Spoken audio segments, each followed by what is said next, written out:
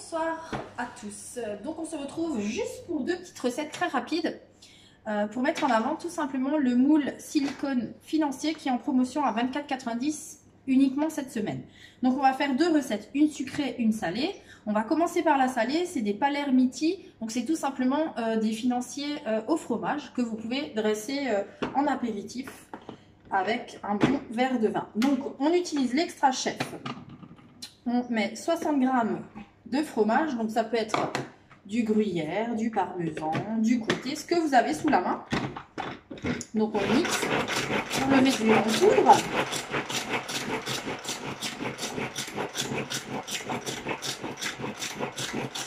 On va rajouter 70 g de farine.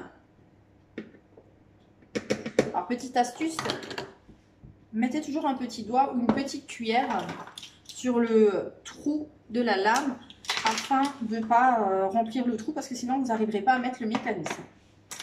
Une fois que vous avez mis euh, la farine, vous pouvez rajouter 70 grammes, euh, pardon, 15 millilitres de d'herbes sèches. En fait, ça peut être du basilic. Moi, j'ai des herbes de Provence, donc je vais mettre 15 millilitres d'herbes de Provence. Ça peut être du basilic, d'origan, faites ce que vous avez hein, sous la main.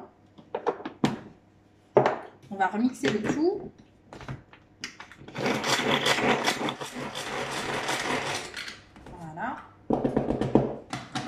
Rajouter 15 ml de maïzena. Donc j'utilise tout simplement les cuillères mesure hein, qui sont bien pratiques. Voilà. Et là, vous pouvez rajouter du coup les deux œufs et bien sûr 50 ml d'huile d'olive.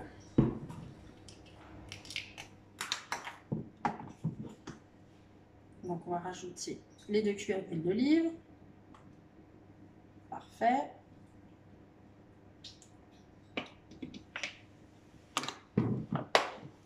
Et mes deux beaux œufs. Donc là, on met les œufs en entier. Hein.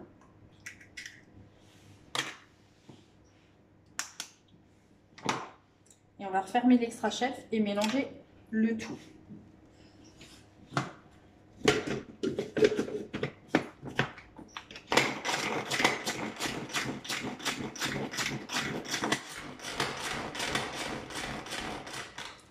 Voilà la recette salée de prête. On va sortir la lame. Voilà.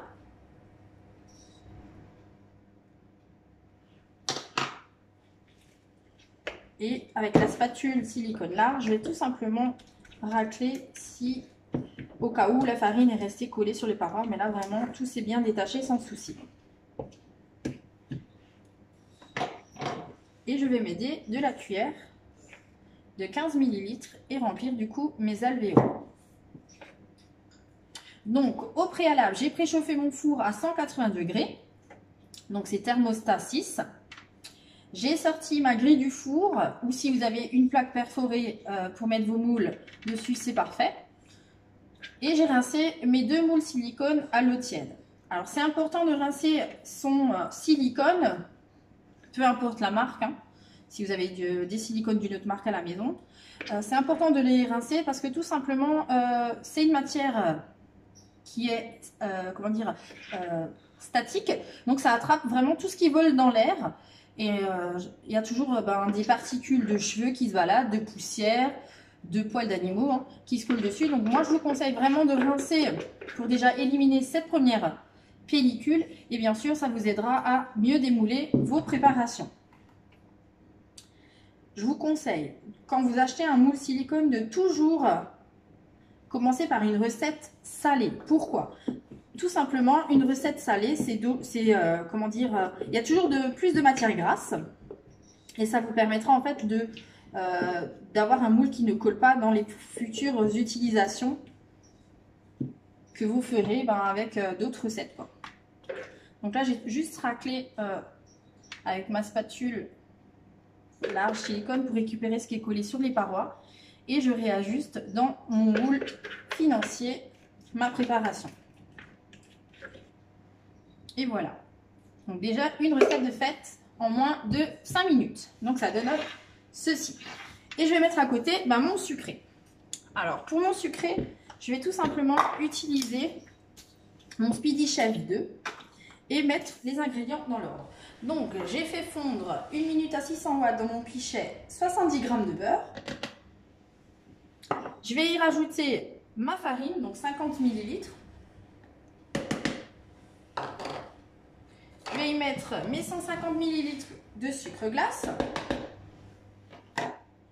mes 40 g d'amandes. Voilà. Je vais rajouter à l'aide de mes cuillères mesure mes 1 ml de vanille liquide.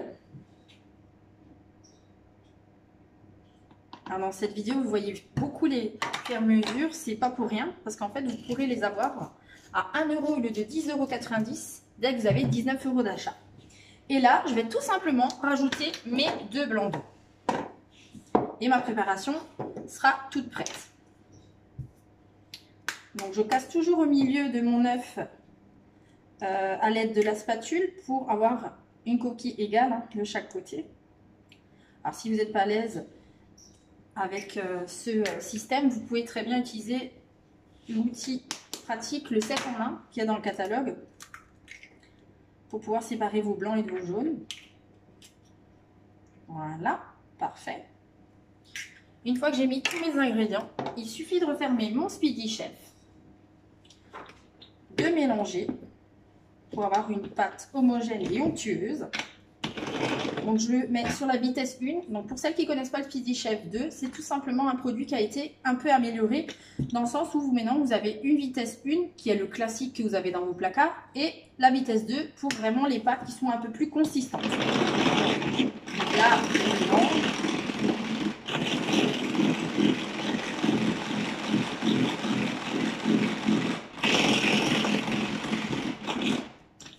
Voilà, parfait.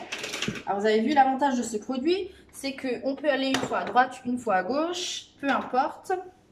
Et euh, ce qui est aussi bien pratique, c'est que vraiment, il a été étudié pour les gauchers comme les droitiers. Hein.